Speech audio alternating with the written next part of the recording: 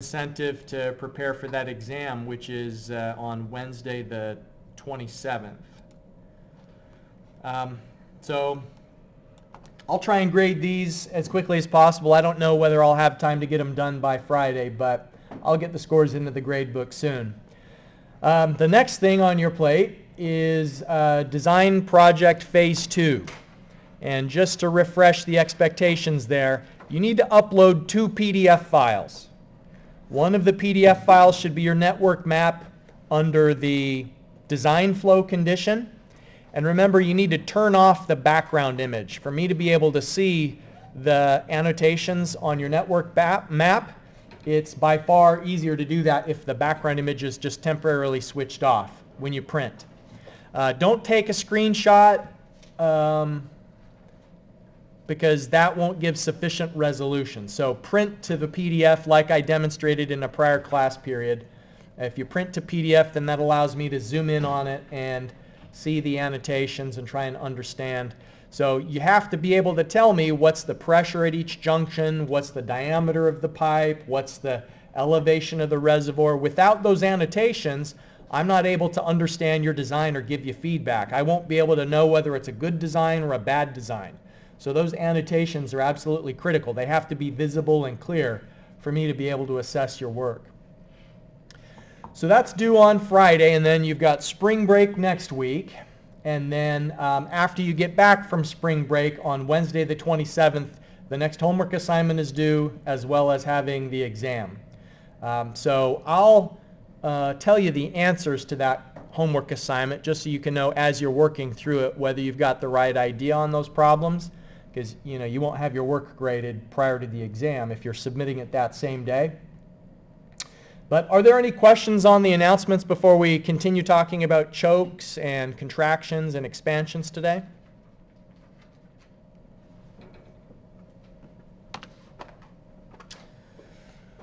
So specific energy diagrams. I was thinking about putting an open-ended question on your quiz that said this. What is a specific energy diagram? So think about what would you have responded? What would you write? if that had been the quiz question today.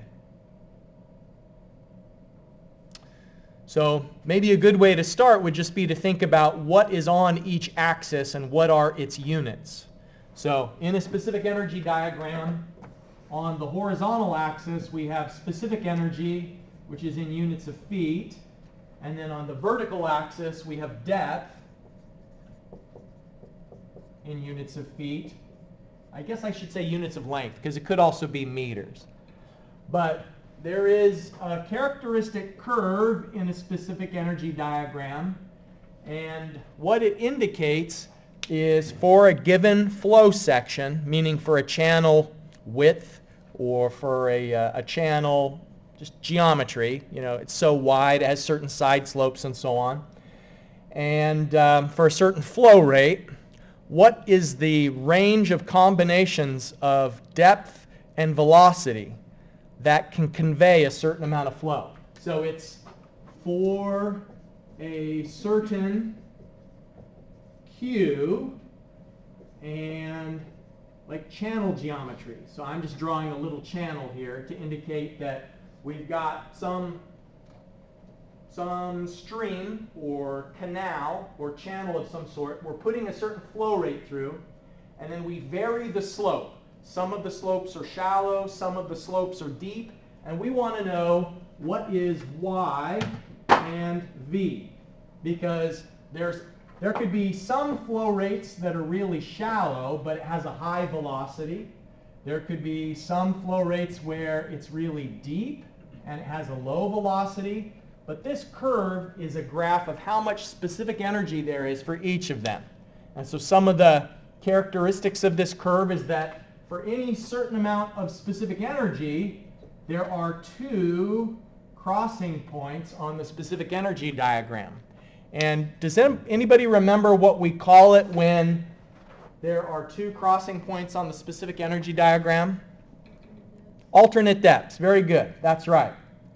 So the alternate depths say for a certain amount of specific energy, there could be a supercritical depth and a subcritical depth.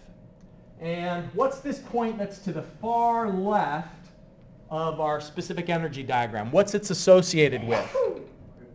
Critical depth. Good. So this is y sub c, and it's also, what is this point if we go down and intercept the uh, horizontal axis? The minimum specific energy, E minimum.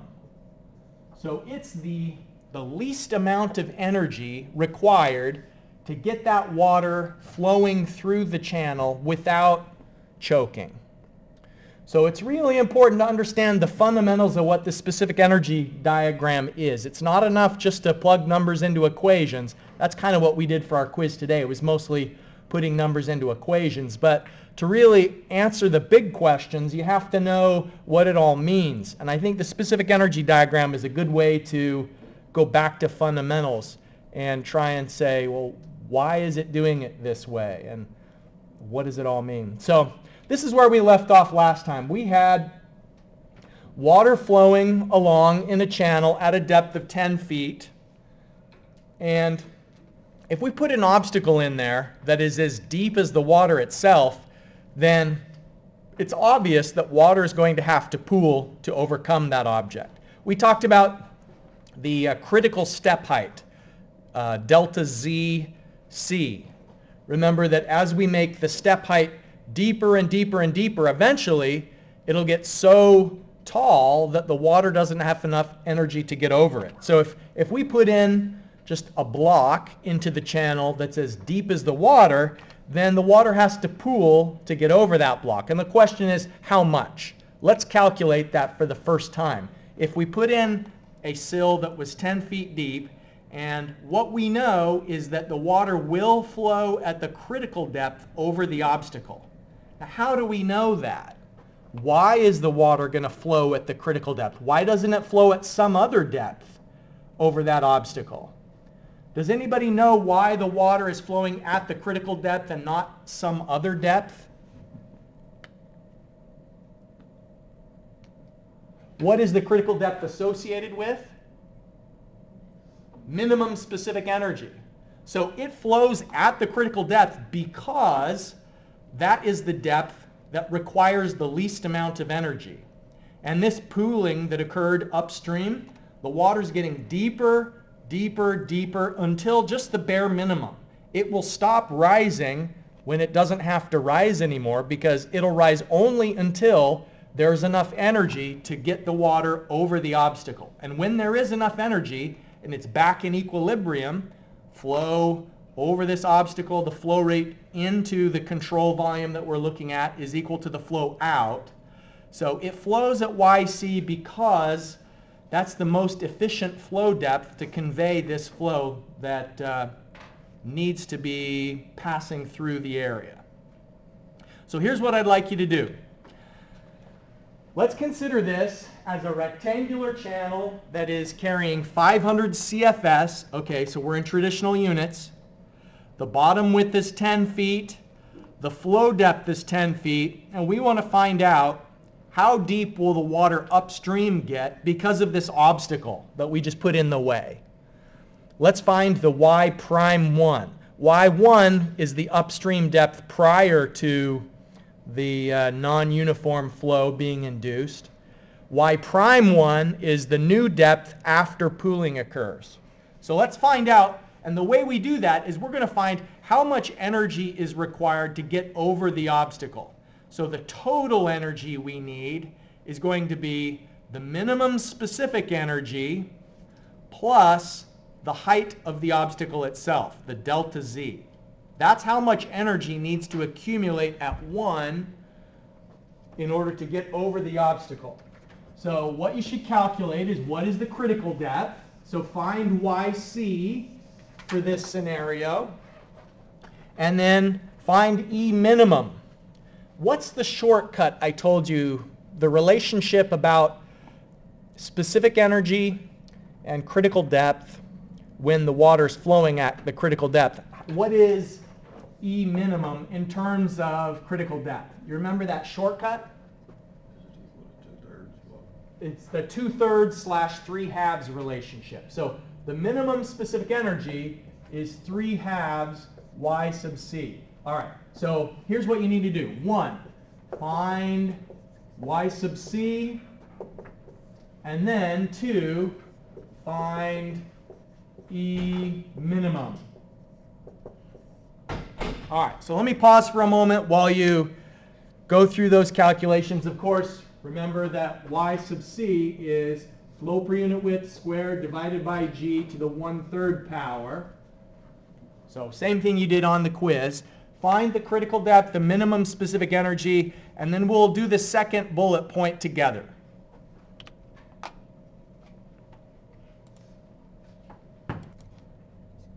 Okay, so if we go through and calculate the uh, critical depth, I think you should have 4.265 feet is the critical depth. And then the minimum specific energy is 6.398 feet. We just multiply that critical depth by 3 halves. Okay, so what is the total energy required to flow over the obstacle? So E required is going to be the uh, minimum plus the delta z. So the minimum specific energy is 6.398 feet plus the 10 feet obstacle height. So we need 16.398 feet of energy before the water can flow over that obstacle. So the question is, how much energy did we initially have at 1? I mean, I think we can tell just by inspection, just by maybe instinct and logic, that the water is going to pool.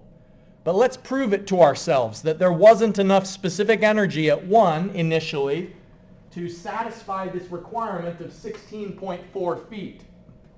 Like, why did it pool? So here in step 4, the proof that it was going to pool was the, we'll call it the E available the initial amount of energy that was available at location 1 upstream was the depth plus the velocity head. So y1 plus flow per unit width squared divided by 2g depth squared. And that's the depth at location 1. So if we put in the, uh, the depth initially was 10 feet and the uh, flow per unit width was 50 feet squared per second squared divided by 2 times 32.2 feet per second squared multiplied by 10 feet, which was the uh, initial flow depth squared. So this velocity head component is only 0.388 feet. So the total specific energy that was initially available is 10.388 feet. So what's the comparison that we're going to do here? We're going to compare how much energy was available to how much is required. Let me just kind of uh, bring some of these calculations we've already done into the recording. So we calculated the critical depth, the minimum specific energy, the initial amount that's, well, to get over the obstacle of that 10-foot sill, we need 16.4 feet of energy. How much did we have available prior to pooling? We only had 10.4. So E required is more than E available, so choking will occur. We already kind of, we guessed that was the case, but now here's the proof. Choking will occur. So how deep will the water get? It'll get deep enough to provide the 16.4 feet of specific energy that's required. So it will get deeper and deeper until there's 16.4 feet of energy. So that'll include the depth and the velocity head. Now it's mostly going to be comprised of depth. When the water gets that deep, its velocity is pretty low. So most of that uh, additional specific energy that accumulates upstream will be an increase of depth. So here's how we find the new upstream depth. We say we're going to set the E required, so we have to have 16.4 feet of energy to get over that obstacle. And so it's going to be the depth and the velocity head, where y prime 1 is the unknown that we're solving for.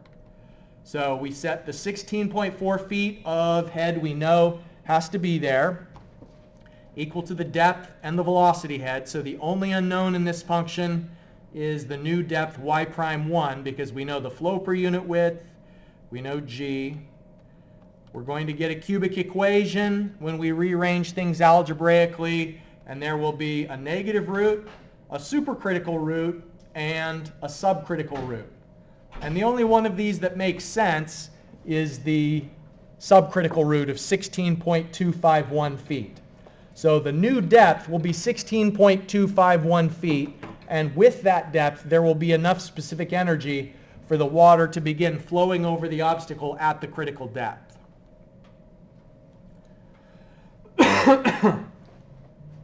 so that's the step-by-step -step for finding y prime 1. Does anybody have questions about that process?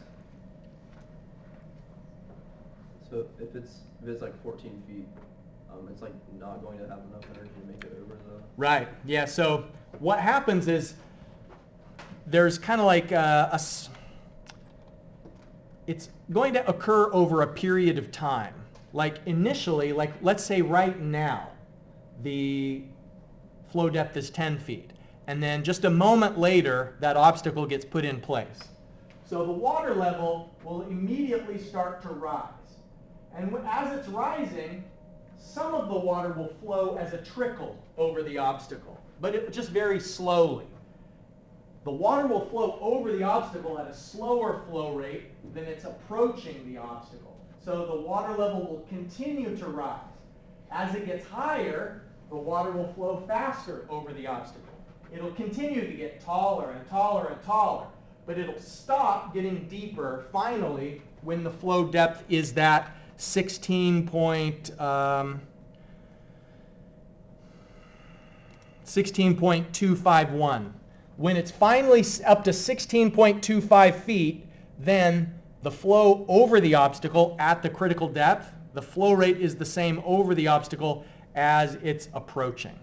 So it's, it's like uh, you said if the depth was 14 feet. Yeah, if the depth is 14 feet, then that means it's still in the process of having the water level rise upstream. It hasn't yet reached that equilibrium depth that's going to allow enough flow to get over the obstacle.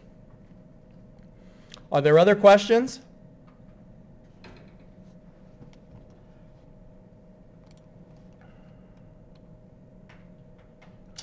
Okay, let's skip over this example. Uh, it's just a variation on things we've already calculated a couple times already. And talk about contractions. Okay, so a contraction, this is a top view, and I gave you a homework hint that, uh, you know, already introduced some of these ideas. But let's say that um, it gets narrower. So what we're doing in this case if the same flow, big Q, is going through a narrower channel, then the flow per unit width, lowercase q, is larger downstream than it is upstream because B is smaller. Remember that flow per unit width, lowercase q, is q divided by B. And so if B gets smaller, then q, lowercase q, gets larger because of that ratio. So um, remember that if you have critical conditions, if the water is flowing at the critical depth, then the minimum specific energy is 3 halves or 1.5 times the critical depth. That's just that kind of uh, shortcut relationship that we know about, which is saying that the velocity head is one-third of the specific energy and the depth is two-thirds of the specific energy when the flow conditions are critical. So think about the uh, specific energy diagrams. So the diagram at location 1 is this diagram. This is the upstream uh, specific energy diagram prior to the contraction. So think about what does the contraction do? It increases the flow per unit width. And so if it's increasing the flow per unit width, so if Q gets bigger, if lowercase q is larger because the channel is narrower, then that means the critical depth is larger. And if the critical depth is larger, then the minimum specific energy is larger. So what happens is when the channel gets narrower, it changes the specific energy diagram. It shifts the specific energy diagram up and to the right because when you make the channel narrower, you're increasing the critical depth because you are uh, increasing the flow per unit width. And because you're increasing the critical depth, you're also increasing the minimum specific energy. So when you make the channel narrower, you have to create a completely new specific energy diagram. And so it's important for you to be able to reason through this process of what it does to the specific energy diagram. I may give you a question on an exam where I say, if the channel gets narrower, draw a new specific energy diagram. And what you'd need to draw if the channel got narrower is you'd need to say, here's the original specific energy diagram. If it's a narrower channel downstream, then that means the new critical depth is deeper, meaning higher up on the diagram, and then the minimum specific energy is shifted to the right. Specific energy we can express in terms of velocity head, or flow rate, or flow per unit width. Any one of those three expressions will enable us to calculate the specific energy in open channel flow. And you don't have to have the same thing on the left-hand side as you do on the right-hand side. You could use V in the left-hand side of the specific energy diagram, and you could use lowercase q on the right-hand side of the specific energy diagram. Sometimes it's just numerically advantageous to switch one for the other in terms of uh, simplifying the calculations. All right, so let's think about an expanding channel. If the contracting channel made the specific energy diagram move to the right and higher, then the contracting, and it was a contracting channel that did that, then an expanding channel like this is going to shift the specific energy diagram to the left and down. So the new, the, uh, how would the curve be shifted vertically? It would, if, if you want to reason through why and what's happening, B is larger, so flow per unit width is smaller if the channel gets wider. And since lowercase q is less, then the critical depth is less. So think about if the channel gets wider, how does that affect the flow per unit width? How does that affect the critical depth? And how does that affect the minimum specific energy? So this widening of the channel moves the specific energy diagram to the left and down. Sometimes when we account for the energy loss due to an expansion or a contraction, that uh, loss of energy is characterized by a, a loss coefficient which is multiplied by the velocity head. So we're going to continue to use 1 as an indicator of the upstream location and 2 means the downstream location. So 1 upstream, 2 downstream. Water is always flowing from 1 towards 2. So in that case, the loss term is always on the right-hand side of the equation because the loss is going to say that there's a reduction in the specific energy that's downstream as a result of the turbulence and that occurs through the transition. So our book says that some typical contraction coefficients could be from 0.1 to 0.6 depending on how gradual the transition is.